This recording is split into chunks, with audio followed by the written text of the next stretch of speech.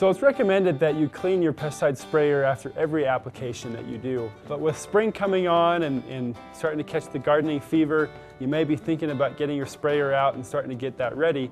And one of the things that you should be considering is, is, is your sprayer clean and ready to go and is it well maintained? So three things we want to consider when we're cleaning our spray equipment. First of all, we want to dilute the active ingredient. Number two, we want to flush the pesticide from the system. And number three, we want to clean it up so we can prevent corrosion or any damage from freezing liquids within the spray equipment during the wintertime.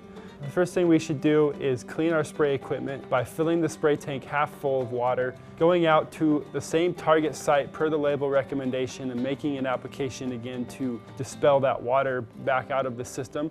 And this should be done three times as a triple rinse in order to properly clean out the spray tank if pesticides have been used in this sprayer and it's important to follow the same proper PPE recommendations on, that's on the label that you would follow when you're making an application.